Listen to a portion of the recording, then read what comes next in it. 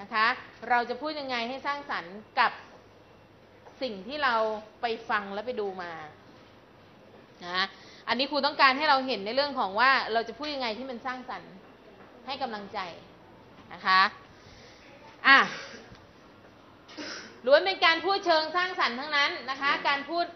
ให้กำลังใจมีอะไรบ้างอะเช่น ไปดูซิอย่างเช่น ชีวิตคือการต่อสู้ บอกว่าชีวิตคือการต่อสู้นะเพื่อน เพื่อนมีกำลังใจไหมมีต้องสู้ ถ้าเราไม่สู้เราจะชนะไหม ไม่ชนะ เพราะเพลงเขาบอกว่าต้องสู้จึงจะชนะนะคะบอกว่าฉันต้องสู้สิเพราะเพลงเขาบอกว่าต้องสู้จึงจะชนะ จริง ๆ แล้วถ้าเราสู้เราชนะไหมชนะใช่ไหมอ่านะชีวิตจึงคือการต่อสู้เห็นไหมนักเรียน เคยดูข่าวไหมคะ คนที่เขาพิการพิการซับซ้อนอยู่ในบ้านก็มีแต่คนพิการทั้งนั้นเลยเขายังต่อสู้ เขายังทำมาหากินมีอาชีพของเขาได้ใช่ไหมใช่นะหรือคนที่ไม่มีแขนนะนักเรียนเขามีแค่ขาสองข้างมีคนไม่มีเขายังสามารถ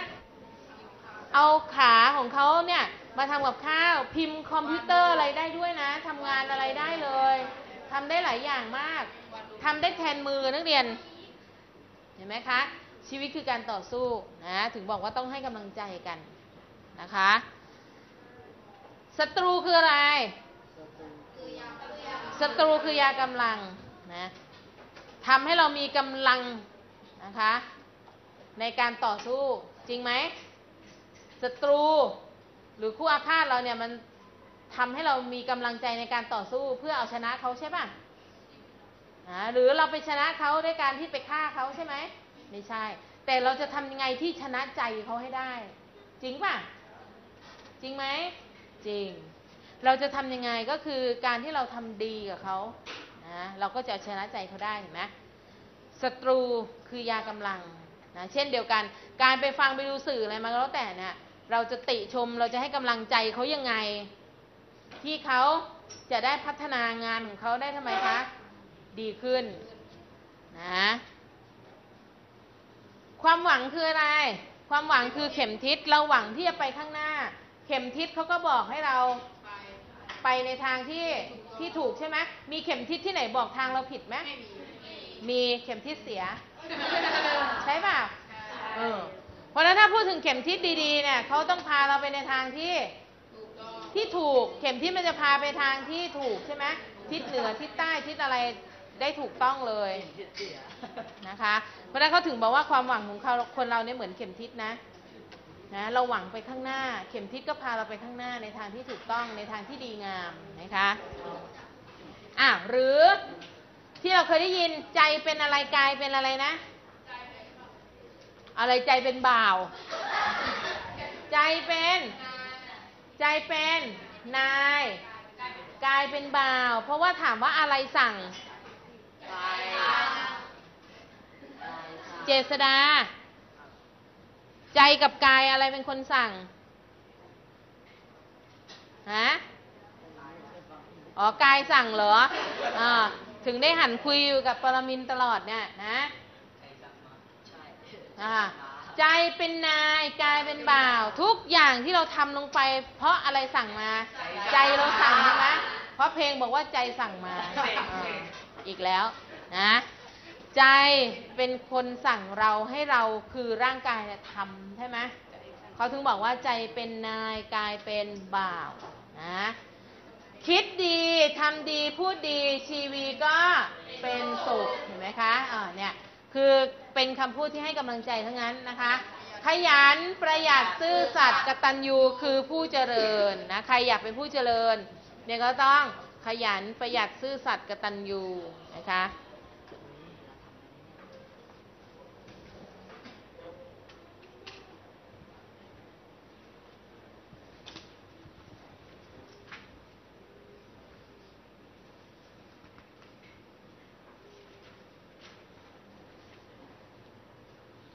อ้าวต่อไปการพูดติชมบ้างนะคะ การพูดติชม ติเพื่อก่อใช่ไหมนะก่อให้เขาทำไมทำให้มันดีนะคะ ชมก็ดีอยู่แล้วนะคะ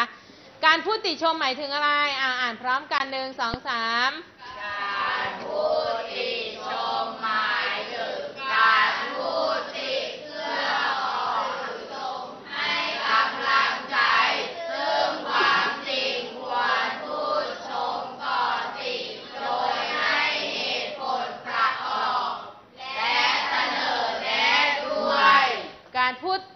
ชม ติชม ถามว่าติกับชมควรพูดอะไรก่อน ชม ควรชมก่อนติ อย่าไปติก่อนชมนะ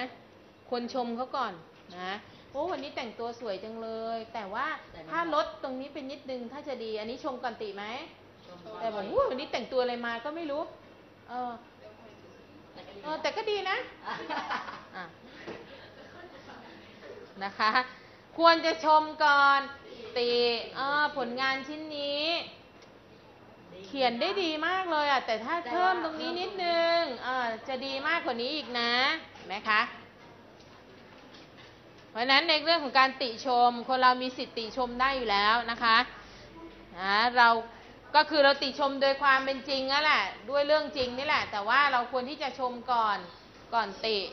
นะคะ แล้วเวลาที่ติเนี่ยเราต้องมีเหตุผลในการ ในการพูดนะ เราต้องมีเหตุผลในการเสนอแนะ ในสิ่งที่เราติเขานะ อะอย่างอยู่เช่นตัวอย่างไม่ต้องจดหรอกอันนี้ตัวอย่างมันยาวนะการพูดติชมอันนี้ตัวอย่างเช่น พี่ว่าน้องใส่ชุดนี้สดใส สีสมกับวัยเข้ากับผิวนะ อันนี้ชมหรือยังชมแล้วใช่ไหมอะตรงสีเหลืองมองว่าไง แต่หน้าเสียดาย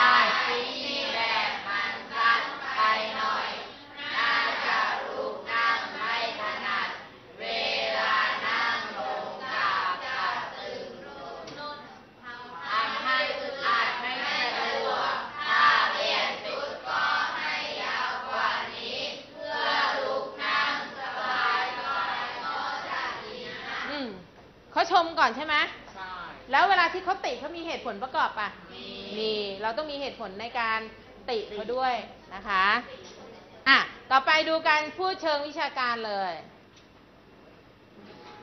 การพูดเชิงวิชาการนะคะอะเป็นการพูดแบบไหนเ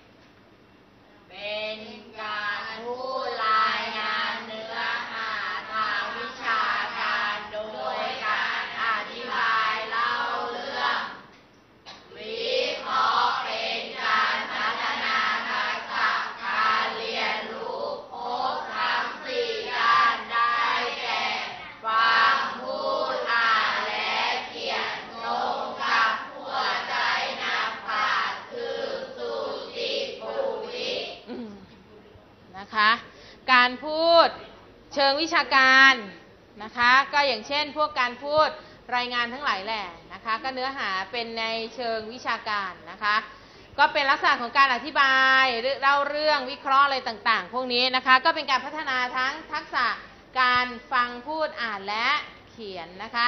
ซึ่งตรงกับหัวใจนักปราคือสุจิปุริคืออะไรคะ ฟังคิด ถามเขียนใช่ป่ะนะอะสุจิปุริ นะคะ ทีนี้การพูดเชิงวิชาการนะก็จะมีหลายหลักแบบนะคะ อาจจะเป็นในเรื่องของการพูดในเรื่องของการประชุมนะอันนี้ก็ถือว่าเป็นการพูดเชิงวิชาการนะคะ การประชุม การสัมมนา การอภิปราย หรือการพูดรายงานนะคะ พวกนี้ถือว่าเป็นเออเป็นการพูดเชิงวิชาการนะคะ อะ ไปดูรายละเอียดนิดนึง อันนี้เราไม่เจาะลึกรายละเอียดนะคะ เพียงให้รู้ว่าในเรื่องของการพูดเชิงวิชาการมีอะไรบ้างนะคะนะการพูดเชิงวิชาการนะคะก็จะมีหลายแบบนะคะ อย่างเช่น การประชุม การสัมมนา การอภิปรายหรือการพูดรายงานนะอย่างเช่น การพูดรายงานเนี่ยเราก็ได้ใช้อยู่ทุกวันใช่ปะนะการพูดรายงานก็ ออกมาเราก็ต้องมีการแนะนำตัวเองใช่ป่ะคะอ่าบอกชื่อสมาชิกในกลุ่ม บอกหัวข้อที่รายงาน แล้วก็สรุปจบทุกครั้งนะคะที่เรารายงานเสร็จจริงไหมขั้นตอนในการที่เรารายงานอยู่ ใช่ไหมก็คือออกมาต้องมีการแนะนำตัวเองใช่ไหมคะนะแล้วก็บอกสมาชิกในกลุ่มมีใครบ้าง แล้วก็บอกหัวข้อที่เราจะรายงานนะก็ดำเนินการรายงานไปแล้วก็สรุปตอนท้าย นะอันนี้เราเราเน้นนิดหนึ่งในเรื่องของการพูดรายงาน เพราะว่าเราก็ได้ใช้อยู่ตลอดนะคะในเรื่องของการพูดรายงานก็นักเรียนก็ต้องไปศึกษาค้นคว้าเรื่องที่เรารายงานมาให้ดีอะนะคะไม่งั้นเราก็ไม่มีหัวข้อที่รายงานนะคะ แล้วก็เวลารายงานก็ต้องทำไมด้วยเตรียมเรื่องมาให้พร้อม ถ้าไม่เตรียมมาแล้วก็ไม่มีความมั่นใจรายงานไม่ออกรายงานไม่ถูกใช่ปะคะ นะเตรียมข้อมูลให้ตรงประเด็นนะใช้คำพูดให้ถูกนะคะออกเสียงให้ชัดเจนคำควบกล้ำรอเรือรอลิง อักขระต่างๆ ให้ชัดเจนนะอันนี้ก็คือเป็นในเรื่องของการพูดเชิงวิชาการทั้งหมดนะคะเอาแค่หัวข้อกว้างๆใหญ่ๆนะคะที่ที่ครูจะพูดถึงตรงนี้ก่อน เรายังไม่เจาะลึกรายละเอียดนะคะกลับไปทบทวนนะ มีอะไรบ้าง นะคะ ทบทวนดูอีกครั้งหนึ่งเพื่อความเข้าใจของเรานะ วันนี้มีใครซักถามอะไรไหมอะถ้าไม่มีเราไปดูสำนวนไทยเลยนะคะสำนวนไทยวันนี้อ่าอ่านพร้อมกันหนึ่งสองสาม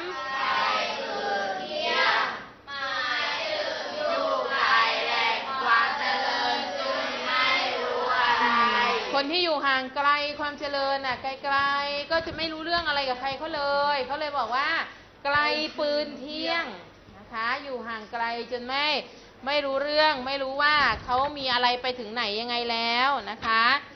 ชั่วโมงหน้าครูจะพูดถึงการใช้ประโยคเพื่อสื่อสารนะคะ การใช้ประโยคเพื่อสื่อสารนะเราจะเรียนกันเรื่องของประโยคนะคะ การใช้ประโยคเพื่อสื่อสารอะวันนี้หมดเวลาแล้วนะคะ พบกันใหม่ใน ชั่วโมงหน้านะคะสำหรับวันนี้สวัสดีค่ะ นักเรียนทั้งหมดทำควารพ